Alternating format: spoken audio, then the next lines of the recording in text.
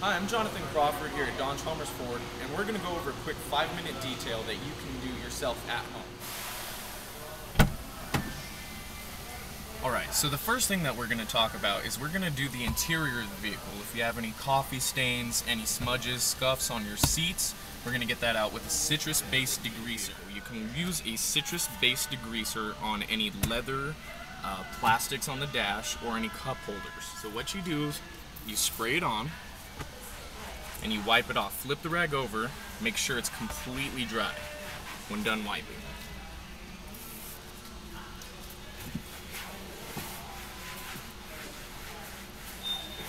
Wipes off nice and clean.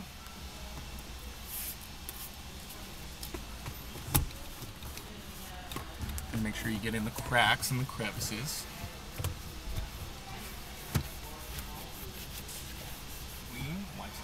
And you can find this at any of your local retailer stores. So the second step after using the degreaser, we're going to use a conditioner or an all-purpose vinyl conditioner. What that's going to do, that's going to put all of the moisture back in the upholstery on the seats and the dashboard. Um, we're going to try to stay away from petroleum-based products. That's going to dry it out and it might crack later on in the vehicle's life. So we're just going to spray it on here, wipe it off clean, spray it on the rag and we'll do the dashboard.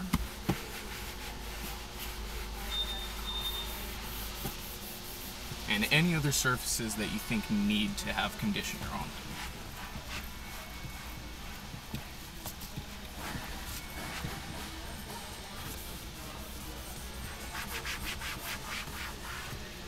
And that's it. So step number three, we're to clean the windows. I don't recommend any ammonia-based window cleaners like Windex. They tend to streak, and if you have window tint, it's to dull or turn it a purplish color.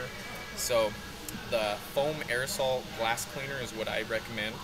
Uh, it sticks directly to the glass, so you're not to get any dripping down into the door panel here. We'll wipe it clean. Flip the rag over for the dry side and finish it up here. And repeat on every single window. Uh, you can find this just like the degreaser at any local retailer. So the fourth step here, the last step, is we're gonna shine up the tires here. Uh, what I recommend is that you do not spray it directly on the tire. If any of this gets on your rotors or your brakes, it's gonna squeak until they're replaced. So try to spray it on the applicator first. Um, I recommend Meguiar's, Armor All, Mothers, they all have a really good tire shine that you spray onto an applicator and onto the tire. So we're going to spray it on here. A little generous amount there. We're just going to wipe directly over the tire.